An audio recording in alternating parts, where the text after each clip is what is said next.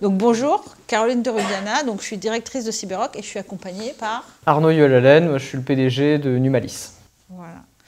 Donc euh, on va vous parler cybersécurité et intelligence artificielle. Donc moi ma partie c'est la cybersécurité et lui c'est l'intelligence artificielle. Bien entendu il regarde la partie sécurité des données.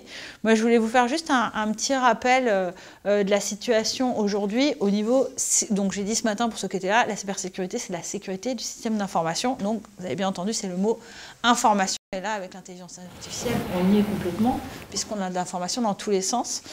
Euh, aujourd'hui, on est euh, dans une situation où tout le monde est numérisé, tout le monde manipule de la donnée. Ce machin-là, c'est pas un téléphone, c'est un ordinateur. C'est fini, je pense que le téléphone tel qu'on l'a connu il y a longtemps n'existe plus, ou vraiment euh, très ponctuellement. Et en fait, les gens oublient complètement cet aspect-là. C'est-à-dire que pour l'ordinateur, ils voient bien qu'il y a des données dessus. Mais pour le téléphone, pour tous les réseaux sociaux où vous écrivez des tas de choses qui vous concernent, pour après euh, tous les systèmes qui peuvent être mis en avant comme juste le portail de l'entreprise, tout simplement, bah, vous oubliez qu'il y a de la donnée et il y a des données qui sont personnelles. On en a parlé un petit peu tout à l'heure. Des données qui concernent l'entreprise, des données qui peuvent être euh, liées à votre euh, savoir-faire. Euh, et donc, il faut être vraiment vigilant aujourd'hui sur quelle est cette donnée, qu'est-ce qui me concerne moi entreprise ou moi en tant qu'individu, et qu'est-ce que je veux bien voir publié, qu'est-ce que je veux bien partager avec les autres, qu'est-ce que j'ai envie de garder pour moi, etc. Et là-dessus, eh bien, il y a des gens qui ont développé un certain nombre de techniques pour gagner de l'argent, euh, rendre des services à d'autres États qui ne sont pas très démocratiques. Enfin, ça dépend, mais bon. On va pas rentrer, on va pas se faire on pas rentrer dans, rentrer dans le débat. Euh, voilà, il y a tout un système de cette donnée qui est devenu commercialisable en fait, ou qui permet de créer euh, des actions malveillantes pour toujours de façon dans un esprit de soit gagner de l'argent, soit du cyberespionnage, mais bon. L'objectif, c'est toujours des objectifs de pouvoir, d'argent, etc. Donc on a une montée en puissance de groupes euh, qui sont euh, spécialisés dans les cybercrimes et peut-être les crimes tout court aussi derrière, euh, en relation avec des États, et qui d'ailleurs utilisent quand même beaucoup l'intelligence artificielle, ça on pourra peut-être en parler, pour systématiser leurs attaques. Ils s'appuient sur deux outils principaux, le Darknet, dont vous avez entendu parler, qui est un espace euh, qui a été créé il y a un petit moment maintenant par l'armée américaine pour les euh, soldats euh, qui étaient sur les terrains militaires et qui voulaient communiquer avec leur état-major en toute sécurité. Ça a été repris par des opposants au pouvoir, par des journalistes, mais malheureusement aussi par des gens euh, beaucoup moins bien intentionnés et qui voient cet espace comme un endroit où ils peuvent faire tout ce qu'ils veulent de façon entre guillemets anonyme. C'est pas aussi simple que ça, mais on schématise. Et à côté, un autre outil que nous, enfin les deux outils ont des, vertus hein, et sont intéressants, mais bon, voilà. Et l'autre outil, c'est les crypto-monnaies. Du coup, les personnes sont sur le darknet, invisibles et font ce qu'ils veulent avec des euh, transactions financières qui ne sont pas euh, traçable. Pareil, c'est pas aussi simple que ça, mais quand même. Du coup, bah, on fait ce qu'on veut. On vend des armes, on vend de la drogue, on vend des données qu'on a volées, on vend des virus qu'on a créés, etc. Et du coup, eh on se retrouve avec euh, un écosystème de la cybercriminalité qui est devenu énorme, avec un gain euh, de la cybercriminalité qui a dépassé le commerce de la drogue depuis au moins 6 ou 7 ans. Donc c'est vraiment incroyable. Euh, aujourd'hui, euh, le, chiffre d'affaires, euh, la cybercriminalité, alors c'est que des évaluations, mais on est à 3-4 000 milliards de dollars pour le monde, donc après, voilà. Donc, bah, évidemment, ça génère énormément d'attractivité. Il y a des tas de gens dans des pays bon, qui vont pas avoir forcément les mêmes règles que nous, qui vont être attirés par ça. Enfin, et après, il y a quand même des États, enfin, tout un ensemble de choses qui viennent se mettre là-dessus. Et donc, on a un niveau de cybercriminalité qui est énorme. On l'a bien vu au niveau du confinement, ça a explosé. Les gens ont commencé à recevoir des mails dans tous les sens avec des pièces malveillantes. Qui, ça déclenchait des logiciels, ça déclenchait plein de choses. Vous pouvez penser que autant d'attaques, bien sûr, il y a beaucoup de gens derrière. Il y a aussi des systèmes automatiques, mm. pas, très pas très bien intentionnés. Et donc, ça, ça veut dire qu'on a tout un écosystème un peu parallèle, enfin même complètement parallèle, qui regarde ce qu'on fait avec les données et qui est extrêmement intéressé par tout ce qu'il va pouvoir exploiter à son compte. Donc ça peut être utiliser des outils comme ChatGPT. Hein, J'ai lu euh, l'autre fois euh, augmentation de 1250% des attaques par phishing. Donc c'est le fait d'envoyer un mail aux gens et de les inciter à soit ouvrir une pièce jointe, soit cliquer sur un lien. Bah, évidemment, avec ChatGPT, euh, on automatise la traduction des mails, la création même du texte pour donner envie aux gens d'aller cliquer sur le lien et on automatise l'envoi. Donc tout ça, c'est des choses très importantes à prendre en compte. Et en plus, nous-mêmes, nous utilisons l'intelligence artificielle. Pour nos propres actions, euh, on en parlait à la, ils en ont parlé à la réunion précédente, euh, ChatGPT, c'est complètement passé dans les mœurs. C'est-à-dire, en, mais vraiment hyper vite. C'est-à-dire que les gens, même ma, voisine euh, qui connaît rien, elle va aller interroger ChatGPT. J'exagère, mais c'est presque ça. Hein. Elle va interroger ChatGPT sur un sujet qui l'intéresse. Et, on, peut voir ça euh, comme quelque chose de très intéressant, mais ça pose tout un ensemble de questions derrière. Où va chercher euh, les données, où les données sont, ont été sourcées, quelles données sont gardées par ChatGPT, etc. Donc on va y revenir. Mais en tout cas, donc l'intelligence artificielle, c'est sûr que c'est un outil hyper intéressant pour nous, et en même temps, c'est un outil hyper intéressant pour les pirates. Donc la question, c'est comment on s'y retrouve là-dedans. Euh, donc je laisse la parole à Arnaud, justement, par rapport à, ces outils d'IA et comment ils sont utilisés d'un côté comme de l'autre. Ok, donc du coup, euh, il y, a deux aspects, hein, vous l'avez compris, euh, c'est les deux faces d'une même pièce. C'est euh, vous avez l'IA pour la cybersécurité et puis vous avez la cybersécurité de l'IA. Donc en gros, c'est je peux utiliser l'IA pour vous attaquer, euh, en faisant du phishing, euh, en imitant votre voix ou euh, même en faisant des, fausses vidéos de vous pour ensuite les envoyer à quelqu'un pour l'inciter à faire quelque chose. Quoi. Envoyer de l'argent ou j'en sais rien.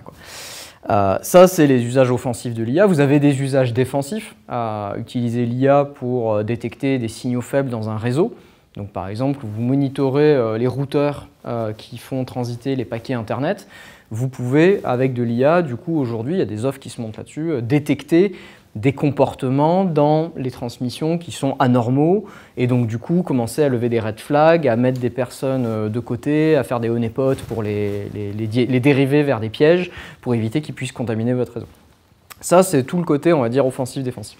Et après, il y a le côté, euh, c'est sur ça que je vais insister un peu plus, sur, ok, mais c'est quoi aussi les vulnérabilités de l'IA l'IA, ça reste du code, euh, et le code, bah, c'est vulnérable. Euh, on entend depuis euh, des décennies qu'il y a des failles de sécurité dans les, protocoles, dans Windows. Enfin voilà, il y a toujours des failles de sécurité, les zero day que vous entendez, où il faut tout de suite mettre à jour votre système, sinon vous êtes exposé à cette faille. Bah, dans l'IA, ça reste du code, il y en aura aussi, et il y en a déjà. La différence, c'est que si on revient aux fondamentaux de l'IA, quand vous écrivez du code, euh, vous êtes un programmeur et vous transcrivez dans le code une intention. C'est-à-dire que vous écrivez l'intention que vous avez dans la tête avec un code informatique, mais qui, au final, ressemble à comment c'est formulé dans votre esprit. S'il se passe ça, je fais ça, sinon je fais ça, et puis sinon je fais encore ça. Et donc vous avez comme ça un, arbre euh, qui représente le programme, qui peut être lu par un humain, et qu'un autre programmeur peut lire en disant « Ah, je comprends ce qu'il voulait faire. Quand il a écrit ça, il avait ça en tête. » Avec l'IA et particulièrement le machine learning, c'est plus le cas. C'est-à-dire qu'on n'écrit pas du machine learning en traduisant une intention dans du code. On crée du machine learning en assemblant des données qui représentent ce qu'on veut, euh, veut mimer, et ensuite on fait apprendre la machine sur ces données. Et une fois que la machine a appris, elle représente les données, mais elle ne représente pas l'intention qu'il y avait dans la sélection des données. Vous voyez la, nuance? Donc ce qui fait que moi je suis une tierce personne et je regarde le code de l'IA, bah, en fait je comprends rien. Je ne peux pas dire qu'est-ce que voulait faire la personne qui l'a conçu. Et donc ça c'est super embêtant parce que du coup bah, pour auditer, je suis euh, voilà, un, auditeur de cybersécurité qui doit contrôler un système que je reçois pour dire je mets le tampon ou je mets pas le tampon, bah, c'est plus compliqué. Donc ça c'est le premier problème qu'on a dans, dans, dans la cybersécurité de l'IA, c'est que si c'est mal documenté, bah du coup euh, c'est une boîte noire. Donc je ne peux pas vraiment ouvrir le truc et comprendre réellement pourquoi ça a été conçu, sur quel domaine d'opération je suis censé l'utiliser et quelles étaient les limites. Donc la documentation, la traçabilité va être fondamentale et aujourd'hui c'est pas le fort de l'IA, c'est-à-dire euh, on vous donne des trucs en mode bah ça marche et euh, allez-y, hein, c'est bon quoi. On vous dit jamais vraiment comment ça a été fait, avec quelles données, euh, quel contrôle, quel test, euh, et on vous fournit pas un joli document qui vous dit euh, voilà ce que vous avez le droit ou pas le droit de faire avec. C'est surtout ça le point très important, c'est qu'est-ce qu'on peut faire avec et qu'est-ce qu'on C'est ça. ce qu'il ne faut pas faire avec. C'est ça. Quel est le, le, le domaine d'emploi sur lequel le système, par exemple, a été vérifié, qualifié, voire certifié un jour dans le futur? On pourra dire ce système, il est certifié pour ça. Et si vous sortez de ça, euh, ah ben on n'est pas responsable. C'est comme dans les, les license agreements, hein, euh, vous acceptez d'utiliser le système. Voilà. Oui, et puis il y a la problématique de la connexion de cette IA avec Internet. Parce qu'aujourd'hui, on est avec des IA qui sont connectées sur Internet. Donc quand vous faites ingurgiter de la donnée à l'IA, parce que ce qui est important aussi, c'est qu'en général, les IA, même si elles ont été entraînées au départ, elles continuent à apprendre avec les nouvelles données. Ça, dépend. Ça dépend du type d'IA. Elles ne sont pas toutes ça. Mais quand elles le sont, ça pose aussi la question de qu'est-ce qu'on lui fait ingurgiter par la suite. Alors, très clairement, aujourd'hui, euh, certifier une IA qui continue à apprendre, c'est hors du scope de toute la recherche. On ne parle que d'IA euh, qu'on pourrait certifier sur lesquelles on fige l'IA. On dit voilà, j'ai fini de l'entraîner, elle bouge plus, et maintenant je vais la tester et voir jusqu'où je peux y aller. Quoi. Si par contre elle continue à apprendre, vous obtenez euh, des systèmes comme bah, Microsoft avec euh, Tai, qui avait lancé ça il y a quelques années sur Twitter. Et euh, en moins de 24 heures, Tai, elle régurgitait des ah propos complotistes et antisémites. Parce que bah, les gens l'ont trollé, et donc elle a appris les trolls, et à la fin, elle se comportait comme un troll. Alors ça, ça pose la question déjà de l'entraînement de l'IA. Parce que une IA, en règle générale, en tout cas celle dont on parle, parce que quelque part, une heuristique, on peut dire que c'est une IA, mais faible. Euh, mais en tout cas, dans ce cas-là, il y a un entraînement avec un jeu de données, ce qu'on appelle dataset. Donc il y a toute la problématique de la qualité du dataset, qui est déjà une difficulté en soi. La qualité et surtout aussi la légalité de votre dataset. C'est-à-dire, est-ce que vous aviez le droit d'utiliser euh, ces données pour entraîner votre IA euh, C'est tout le débat qu'il y a sur les IA génératives en ce moment, comme DALI ou Midjourney. c'est qu'ils ont scrappé des milliers d'artistes pour faire ensuite une IA capable d'imiter ces artistes. Oui, mais à un moment donné, euh, bah, le code de la propriété intellectuelle, il dit, bah, du coup, c'est une œuvre dérivée de mon art. Donc, euh, comment, euh, comment je suis rémunéré? Et aujourd'hui, bah, c'est zéro. Quoi. Donc, il y a toute cette question de savoir, est-ce que mon dataset, il était clean? Et est-ce que j'avais le droit de l'assembler et d'apprendre dessus? Oui, et puis, si jamais le dataset a été attaqué par un pirate et que personne s'en est rendu compte, et que du coup, bah, l'IA, en fait, elle a un comportement déviant sans qu'on s'en rende compte. Ouais, ça, c'est une des vulnérabilités alors, propres à l'IA, où euh, ça, c'est pas vraiment quelque chose qui existe dans les codes classiques. C'est qu'en fait, on peut, euh, ce qu'on appelle, empoisonner les données. Et donc, imaginons, euh, vous achetez un dataset chez un fournisseur qui vous dit, voilà, moi j'ai un dataset de, je sais pas, des rythmes cardiaques, vous voulez entraîner un truc qui, apprend sur ça, bah, je vous vends un dataset avec plein de rythmes cardiaques. Sauf que je ne sais pas, j'ai été hacké par quelqu'un, et euh, en fait, dans le, dataset, on peut cacher de l'information, euh, on va dire, dans les, basses fréquences, qui vont faire en sorte que quand l'IA va apprendre ça, elle va avoir des, bah, des, portes dérobées sur lesquelles on va pouvoir ensuite appuyer et causer des comportements néfastes de l'IA. Et donc ça, en fait, ce sont en fait des données cachées à l'intérieur des données, qu'il n'est pas forcément simple de détecter quand on a le dataset en main, il faut, c'est un peu technique, mais surtout c'est encore plus dur à détecter une fois que les, données ont été apprises, parce qu'on n'a plus le dataset, on n'a plus que l'objet qui a appris. Donc savoir que l'objet qui a appris a été empoisonné par ces données-là, c'est pas évident.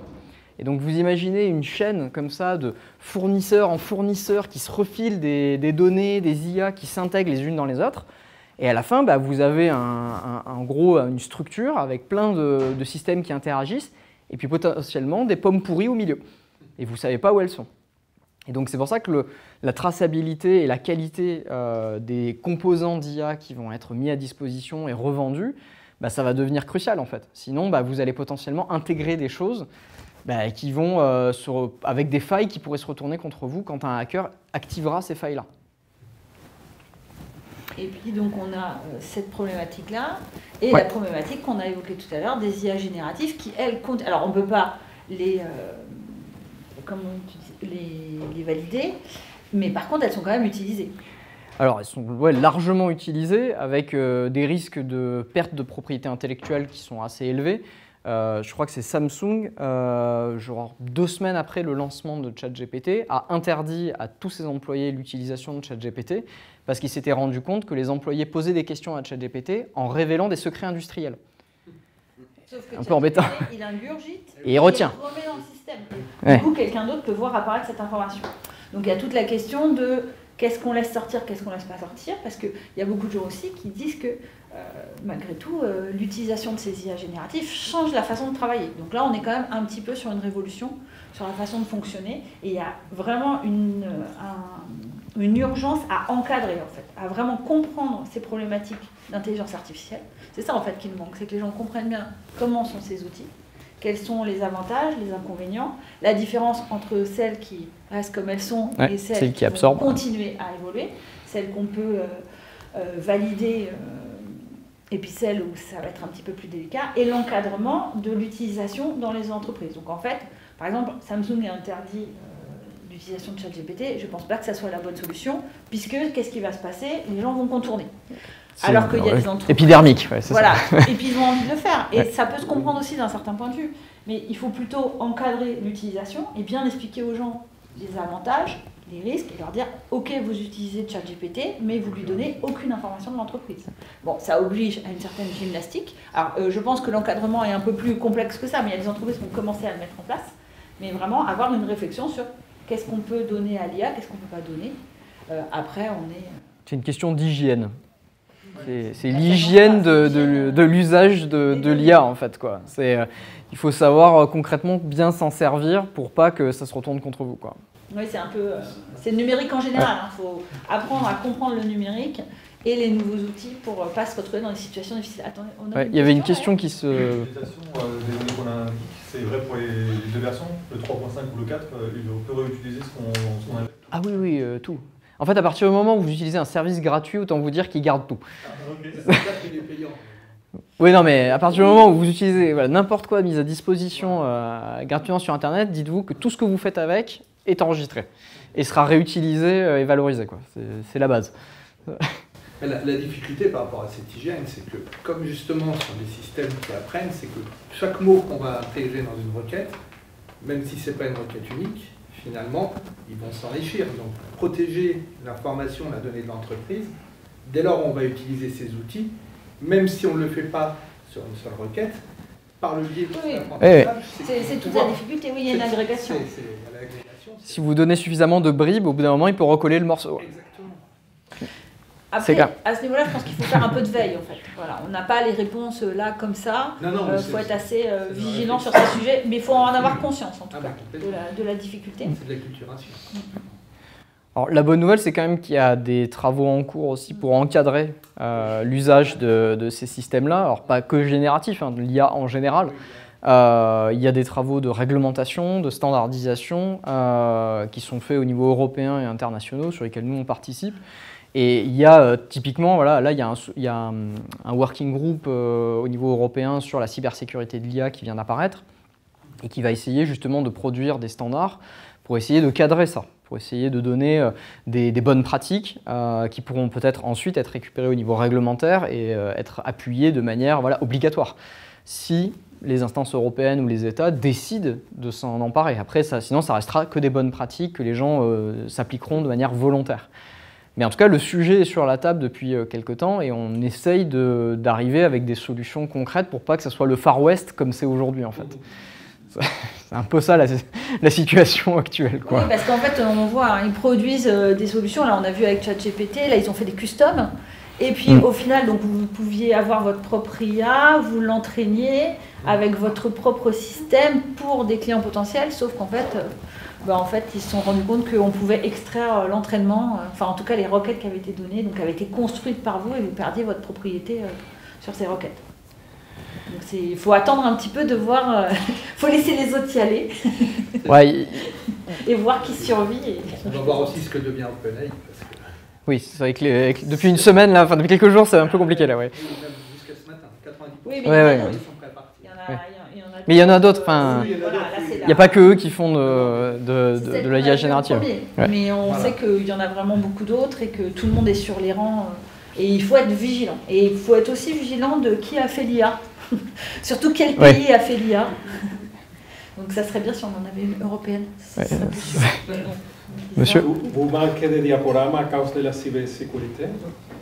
De, euh, Pardon Vous manquez de diaporamas pour cause de la cybersécurité Euh, On s'était dit qu'on allait plutôt le faire en, en- en dialogue avec vous plutôt que comme un cours. Euh, voilà. c'est- un sujet qui est vaste en fait, qui vraiment émerge d'un coup, donc euh, il y a beaucoup d'actions, euh, enfin il y a beaucoup de, de- de sujets de réflexion. C'est sûr que c'est, il faut que les entreprises s'approprient le sujet. Euh, c'est un peu comme la, enfin IA, cybersécurité, c'est un peu le même combat. Il faut vraiment que ça soit des sujets qui soient intégrés dans les formations pour que les gens euh, qui sont euh, dans la RH, euh, dans directeur opérationnel, euh, chef de projet, ils connaissent les deux domaines de la cyber. En tout cas, ils aient un vernis cyber, ils aient un vernis IA pour euh, avoir un petit peu des réflexes, faire attention, quelles solutions ils prennent. Euh, il y a beaucoup de, de solutions du marché qui intègrent de l'IA. Mais en fait, c'est intégré, c'est ce que tu disais tout à l'heure, c'est intégré comment, pourquoi, qui, Ouais. euh, quelle brique, comment c'est relié, qu'est-ce qui est réellement fait pour pouvoir juger déjà de l'efficacité tout simplement, parce qu'il y a quand même beaucoup de gens qui peuvent mettre qu'il y a de l'IA, puis en fait on n'est peut-être pas sur des IA hyper évoluées non plus. Donc il faut savoir un petit peu de quoi on parle, donc il faut comprendre le sujet, et c'est vrai que c'est quand même assez complexe, parce que c'est des choses nouvelles pour tout le monde. quoi. Donc, euh, et c'est là où les gens sont un petit peu perdus. Donc déjà comprendre euh, ce que c'est que ces IA dans les solutions, comment c'est intégré, et après le risque réel pour l'entreprise. D'où le besoin d'avoir des standards euh, pour cadrer et pour documenter et pouvoir comparer. Vous avez deux vendeurs qui vous disent Moi, mon IA, c'est la meilleure. Bah, à part euh, les croire sur parole aujourd'hui, vous ne pouvez pas forcément euh, vous appuyer sur quelque chose de factuel avec justement des standards qui vont définir bah, des métriques, des KPI, des processus, euh, des processus qualité. Vous allez pouvoir dire bah, Tiens, lui, il a suivi tel et tel standard, lui, non. Bah, Peut-être que lui, il fait un produit de meilleure qualité. Donc, vous, en tant qu'acheteur ou intégrateur, vous pourrez vous appuyer sur des choses un peu plus fermes que juste le bagou du commercial qui est en train d'essayer de vous vendre une solution. Il y avait une question. Euh, oui, euh, justement, vous parliez du coup euh, d'intégrer l'IA euh, dans l'entreprise. Où est-ce que vous, vous traceriez la barrière euh, entre on fait de l'IA, euh, j'ai utilisé trois fois ChatGPT dans mes process, et euh, c'est vraiment euh, une grosse partie de l'entreprise et pas juste un joker marketing de start-up euh, qui développe des financements? Ouais, ça c'est très très compliqué. Je vais Ouais. laisser Arnaud. Ah, là, il, faut, faut, euh, bon, il va falloir que BPI sorte de la salle. Parce que là, il ne faut pas révéler les secrets de C'est pas évident aujourd'hui de, de tracer la ligne entre quelqu'un qui développe réellement un service avec de l'IA et quelqu'un qui intègre une brique euh, qui a été prise sur étagère et sur laquelle d'ailleurs il n'a aucune maîtrise et euh, bah, qui fait un nice to have en plus pour, pour faire un effet waouh. J'avoue, il y, a- quand même aujourd'hui beaucoup de ce qu'on peut appeler l'IA bullshit, euh, avec des gens qui vendent des services IA qui euh, soit servent à rien, soit en fait euh, c'est pas vraiment de l'IA derrière, mais qui surfent sur la vague. Alors ça, ça a été le cas euh, avec toutes les autres vagues en fait. Il y a toujours des gens qui essayent de capter une vague et de rebrand euh, leur service avec ça. Encore une fois, là, ce qui va permettre peut-être de, de faire la différence et de trier le grain de livret, ça sera quand les gens vont commencer à mettre en place des processus qualité. Parce que quand vous faites un processus qualité, vous devez exhiber finalement comment vous concevez, comment vous intégrez, comment vous utilisez. Euh, si vous faites n'importe quoi avec le système ou que c'est juste trois requêtes chat GPT, ça va vite se voir euh, dans le processus. Donc il y aura moyen, je pense, de décrypter un peu par-dessus le PowerPoint euh, ce qu'il y a vraiment derrière. Quoi. Non, mais il y a quand même les technologies, machine learning, etc. Donc, euh, si les gens ne sont pas capables de vous dire quelle euh, techno ils ont utilisé derrière, euh, c'est quand même qu'il y a un problème. Ouais. Ou ça veut dire que c'est quelque chose sur étagère, mais dans ce cas-là, ils n'ont pas la maîtrise. Ouais. Mais après, vous prenez des IA pré-entraînées euh, et euh, vous faites juste un, un petit coup de fine-tuning. Donc en gros, vous prenez quelques données à vous et vous euh, réajustez l'IA pour qu'elle, euh, en gros, ressemble à, vos- à ce que vous faites. On se dit, ah bah, je suis super innovant, c'est incroyable. Euh, on peut peut-être négocier, quoi. Justement, on peut peut-être dire, attendez, ça, c'est quand même quelque chose. Est-ce que vraiment c'est euh, une grosse innovation? Après, ça peut être une innovation d'usage. Voilà, dans le cas- il faut l'appeler innovation. Ouais, c'est ça. C'est peut-être pas une énorme Et- disruption voilà. par contre, quoi. C'est juste une innovation d'usage. Sur, euh, Voilà. sur ce qu'on a utilisé comme outil externe. Mais- C'est vraiment- Mais c'est vrai que le, le coût de la, la, la barrière à l'entrée a diminué très fortement. C'est euh, faire de l'IA aujourd'hui, c'est, euh, je dirais pas enfantin, mais euh, ça demande des compétences, mais, le coût est ridicule. C'est, quasiment gratuit maintenant de, réentraîner un modèle, quoi. Donc, de fine-tuner un modèle. Donc, effectivement, tout le monde peut se jeter dessus et prétendre être un cadre de l'IA en disant moi j'ai fait ci, moi j'ai fait ça. Ça abaisse forcément le, le niveau de compréhension après du public qui dit mais qu'est-ce qui est réellement innovant là-dedans? Donc, euh, Mais ça c'est parce que là on est dans une phase d'accélération. On va je pense à un moment donné taper un plateau. Euh, et quand on va arriver sur ce plateau, eh bien, euh, les effets de bulle vont commencer un petit peu à, redescendre et bah, toute la mousse et les gens qui faisaient un peu de la mousse, bah, ils vont un peu disparaître. Oui, puis à un moment, leur solution va atteindre des Oui, limites, c'est-à-dire c'est qu'elles ne seront pas performantes. C'est ça. On va atteindre le. réalité. Ça ne marche pas. Il faut avoir une vraie IA pour que ça fonctionne et pour que ça donne des résultats euh, pertinents. Donc ça veut dire qu'on a euh, créé euh, son propre réseau de Ouais. neurones, ou son machine learning, enfin, sa techno. On l'a peut-être souvent fait avec euh, des chercheurs euh, euh, des laboratoires. Enfin voilà, on est quand même. euh, Et puis on l'a validé proprement euh, Et- pour éviter les failles du truc. Parce que très vite, quand on va généraliser les failles, bah, on va généraliser les attaques. Donc euh, tous les gens qui vont vendre des services qui finalement sont faciles à attaquer, bah, les hackers vont aussi euh, les, les- les attaquer Ah facilement. Non mais c'est pour, hein. C'est ça, donc ça va vite se voir en fait. Donc tous ces prestataires qui pourraient être un petit peu défaillants, euh, vite vont être catalogués comme bah, vous êtes moins sûr que les autres. Quoi. Et du coup, ça implique aussi d'être particulièrement vigilant si vous, vous développez des services et que vous voulez intégrer de l'IA, ce qui peut se comprendre. Vous avez un service, vous avez une idée, vous vous associez avec euh, un prestataire qui fait de l'IA, ce n'est pas forcément votre métier, ben c'est là aussi où vous, si- en tant que professionnel, il faut être très vigilant avec euh, ce que fait le prestataire, euh, les solutions qu'il utilise, qu'est-ce qu'il peut vous garantir sur la sécurité de ce qu'il va vous délivrer. Et ça, il faut que ce soit écrit dans le contrat, typiquement. Parce que là, oui, je t'écoute. Alors, en fait, je me fais une réflexion par rapport à, on parlait d'accélération, de, en phase d'accélération. Je me rappelle, alors je ne suis pas dans les plus jeunes ici, la phase euh, d'Internet au début des années 2000. Mhm. où chaque fois qu'on envoyait un business plan, on mettait Internet. Oui, la, la banque vous faisait des prêts miraculeux. ouais, ouais. On a posé la question est-ce qu'on n'est pas dans un nouveau euh, paradigme, une nouvelle ère de l'IA où on voit qu'il n'y a pas trop de barrières à l'entrée pour, pour dire j'ai une solution IA, Ouais. etc. Et qu'on va trier les, les morts dans pas longtemps. Ah mais il y a une bulle. Hein. On Oui, va se retrouver aussi sur un espèce de. Peut-être pas de bulle, mais bon, comme moi je savais crâne froid. Euh, Est-ce qu'on n'est pas dans un. Voilà, maintenant, euh, voilà, on- avant c'était un mot magique, ça a été un peu Internet, maintenant c'est IA. Et... Tout le monde en fait, soi-disant. Donc moi je pense qu'il y a une bulle. Euh, entre guillemets, la bonne nouvelle, c'est que déjà à la Silicon Valley, depuis un, un an, les valeurs technologiques se pètent la gueule.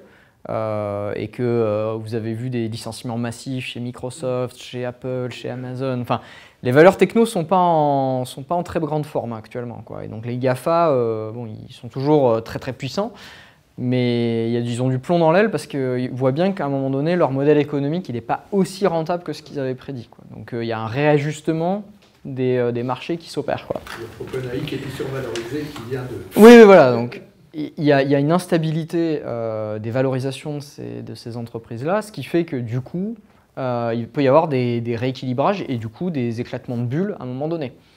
Donc on n'est pas à l'abri, effectivement, si OpenAI, euh, voilà, comme disait monsieur, euh, demain 90% de la masse salariale, euh, oui, enfin voilà, ce matin, s'il se barre euh, ce soir, la valorisation d'OpenAI, c'est zéro. Quoi. Donc on va passer d'une valorisation, je ne sais plus combien de milliards, à, à zéro en 24 heures. Donc ça, ça n'arrive pas d'habitude dans des entreprises classiques. Des, des réajustements comme ça, on n'en voit pas. Donc il y a une volatilité. hein. C'est euh, c'est pour ça que c'est typique des bulles, hein, ce genre de volatilité. Oui, c'est sûr que la donnée, c'est quelque chose de, de- que tu peux pas palper. Quoi. Donc, euh, quand tu as construit euh, une machine, des objets, même s'ils perdent de la Ouais. valeur, ils vont pas passer à zéro. Ça, une usine, ça a une valeur intrinsèque. quoi. Euh, L'IA générative, ChatGPT, la valeur intrinsèque, elle n'est pas simple. Quoi. Oui, surtout que c'est basé sur un corpus de données, en plus qui est arrêté à une certaine date. Donc ça, il y a Ouais. aussi toute cette partie où à quel moment ça va se débloquer, et puis euh, de la légitimité d'utiliser toutes ces données. Il y a quand même une problématique aussi. euh, Alors, très, ouais. Très clairement, euh, on a vu un exemple, c'était pas ChatGPT, mais euh, c'était une IA qui faisait de la reconnaissance euh, faciale et donc qui vendait des, euh, des modèles préentraînés. Sauf que quand on faisait un peu de reverse engineering sur le modèle pour découvrir quelles étaient les données qui avaient été utilisées, on tombait systématiquement sur des personnes en tenue orange. Donc euh, ça vous dit un peu, voilà. Voilà, donc ça veut dire qu'en gros, les mecs avaient utilisé des données de prisonniers, évidemment sans leur consentement, sans doute, quoi. Tout, euh, Donc là, typiquement, bah, vous êtes utilisateur et intégrateur de ce système, bah, vous êtes en tort puisque vous utilisez des données, euh, enfin des systèmes entraînés frauduleusement sur des données volées ou sans consentement. Donc. Et on peut imaginer que la diversité n'y est pas complètement. Oui, enfin, il y a aussi, il peut y avoir des biais en plus, mais, voilà, le- le- mais rien que sur la- la- la licité des, données que vous avez utilisées, vous n'y êtes pas, quoi. Donc vous, en tant qu'intégrateur, vous devez vérifier ça. C'est d'ailleurs l'AI Act, hein, le règlement européen sur l'AI, c'est une chaîne de bout en bout. hein. C'est-à-dire que même si vous êtes intégrateur, vous n'êtes pas euh, dédouané de euh, contrôler votre fournisseur et de d'exiger de votre fournisseur qu'il soit capable de tout tracer euh, jusqu'à la donnée qui a été utilisée pour pré-entraîner le modèle, par exemple. Mais c'est là où est la difficulté, par contre. Ah ben, c'est là où il faut inventer le, le processus, la documentation et les standards qui vont avec. C'est le même principe que sur le RGPD, hein, la. Exactement. C'est construit sur la même, euh, la même idée fondamentale, euh, exactement. Euh, Donc c'est pour ça que, évidemment qu'il faut que les entreprises s'emparent de cet outil-là. Par contre, il faut le faire de manière responsable. hein. Il faut le faire avec, on va dire, les, les- les garde-fous et la compréhension de ce qu'on est en train de faire, de ne pas se jeter sur ces technos-là et de, de faire confiance à, euh, bah, aujourd'hui, des, des boîtes qui peuvent être un petit peu en train de vendre euh, des salades. Quoi.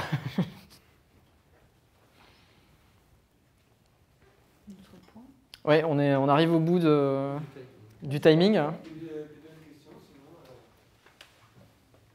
Bah, écoutez, merci euh, pour votre attention, en espérant que ça vous a apporté quelque chose.